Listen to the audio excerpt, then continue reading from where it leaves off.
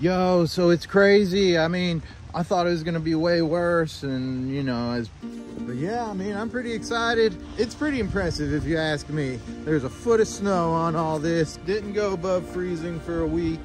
What's up, y'all? So I'm just going out to the garden for the first time since, uh, you know, we got like a foot of snow this week and didn't go above freezing uh, for about a week. It got down to be negative six and then it just warmed up. So now is like the first opportunity that I've had to go out and really like check on things since it's all been under snow for a week and not really gone above freezing all week either.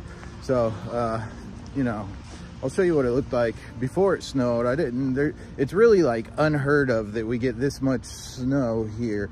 Um, the most I've ever seen before was like one to two inches and it's gone the next day. So we got almost like 10 inches of snow and it didn't go above freezing for a week and it got to be about negative six and so all this was under snow until this morning. So this is the first time i'm really having to walk around and check on things so let's see what it all looks like. So like these had all kind of fallen so it's good to see that they at least uh, sprouted back up. Same with this it was all kind of flat and there's like lettuce and beets under there um, everything in the high tunnels got um, had agribon over it inside the high tunnels. So I mean, it looks good. I mean, yeah, it's good. I mean, everything's not dead. And then I just seeded this these two beds to mustard cover crops yesterday. Uh, that's a bed of arugula and a bed of lettuce, looking decent. There's a little bit of damage, but I mean, given that it was 96 or six below zero, it's pretty good. Um, these beds were all planted about right before the cold snap. So it's really cool to see. I mean, it's like the end of January right now, mid to end of January. And these beds were just planted two weeks ago. So, uh, you know, this was direct seeded arugula and then transplanted lettuce and direct seeded spinach over there that's just popping up. So pretty cool to see uh, that even in the middle of the winter, I'm able to start crops like that. Uh, this bed of arugula was like really flattened down yesterday. I took the cloth off it and uh, so it's cool to see that it's kind of like starting to uh, spring back up. I mean, it just had a foot of snow on it with these little hoops and the hoops you can see they like collapsed. Um,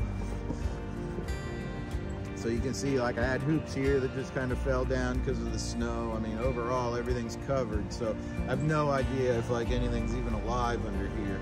Uh, I'm hopeful that there's some stuff alive. I mean, there wasn't like a ton of value. Obviously it's the middle of winter, so I have to somewhat expect something like this to happen.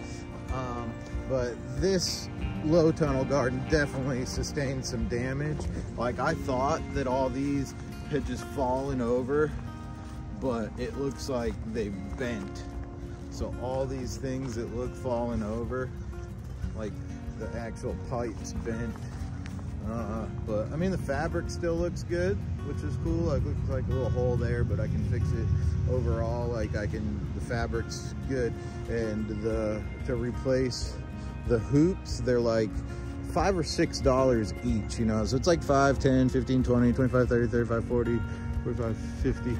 Yeah, you, you know, we could call it like maybe a hundred dollars worth of damage uh, to the infrastructure. So, I mean, it sucks. I mean, who wants to spend an extra hundred dollars? But, uh, you know, at the end of the day, uh, it's not too big of a deal and easily replaceable. Um, and then in here, so I'm ready to go with more seedlings. So if there is a lot of damage in there, then all these guys are, I mean, I'm ready to go. These are all going into the ground uh, as soon as I get those cloths pulled off and some bed prep done. Uh, this lettuce in here looks great. That also was covered. And then I just pulled these onions out of this bed because they were not doing good. They never did good. Uh, and honestly, I'm gonna turn this whole entire tunnel into nursery benches like this so I can expand my nursery operations basically into this whole tunnel um, because we just leased a second farm. I need to start more seedlings here to bring over to the other farm. Um, and I'm gonna do some like potted, potted herbs in here also. I'm gonna get all these frost blankets pulled off and see what the damage looks like. Uh, yo, so it's crazy. I mean, I thought it was gonna be way worse and you know, as prepared for like worst case scenario, obviously. Um, and you know, you just kind of have to be prepared for the worst case scenario when you're to try to grow food for a living all winter. So, you know, I just, I don't necessarily have to rely on the money. Uh, I mean, I want the money, don't get me wrong, but like I save enough money during the season to be able to pay my bills if, if I lose everything in the middle of the winter. So just to like be prepared for it. Um, you know, so like I wasn't like gonna go bankrupt or something if everything does die, but like I was just prepared for everything to be dead to start over. Um, but man, everything looks great here. I'll show you. Um, so I mean, these guys, so the hoops are bent.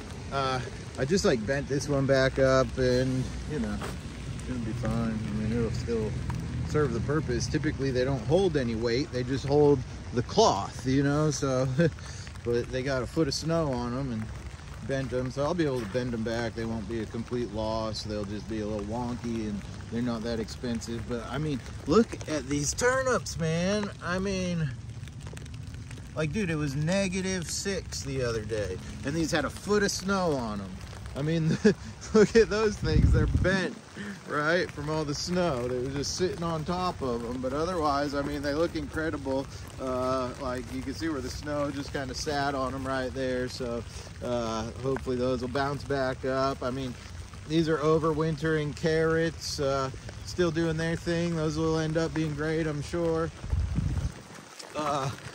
Couple beds of spinach here, which uh, I mean, they got flattened a little bit, but no big deal. I mean, I think it's gonna bounce back up. Maybe a little spot in the middle where I lost some, but overall, I mean, for having a foot of snow on top of them and going through negative six degrees, uh, kind of same deal with this bed of lettuce, which I've already harvested once, so I was trying to get a second cut on it. Uh, so, I mean, it doesn't even matter if I don't, I can be done with it. I mean, this cilantro looks pretty good. It's kind of flat, but I think it's gonna bounce right back up and get a good crop off of that. I mean, these carrots,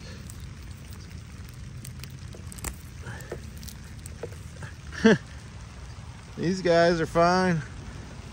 Uh, this dill was already dead. I already harvested it, but I was just leaving it in the ground until I got around to getting it out of there.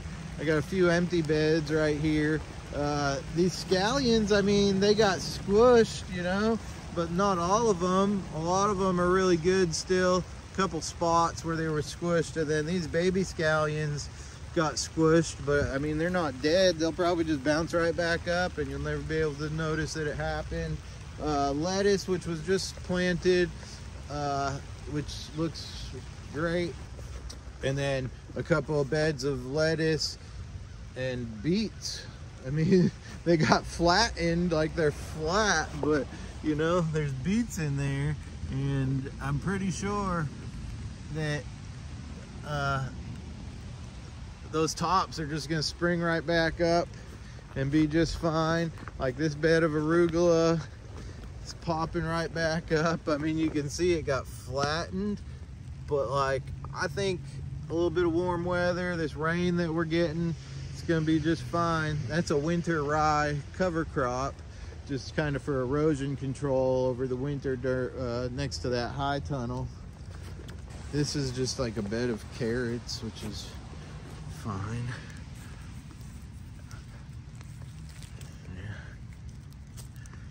And uh, I mean, those are overwintered uh, watermelon radishes. I don't know. We'll see but yeah, I mean, I'm pretty excited. Everything looks, I mean, it's pretty impressive if you ask me. There's a foot of snow on all this uh, for a week. Didn't go above freezing for a week. And it got down to like negative six degrees, I think. And I mean, I don't know, there's a little bit of losses here and there, but overall, everything's fine and there's still probably be able to pull thousands of dollars worth of income out of my backyard still in the middle of winter. All right, y'all, I'll see you in the next one.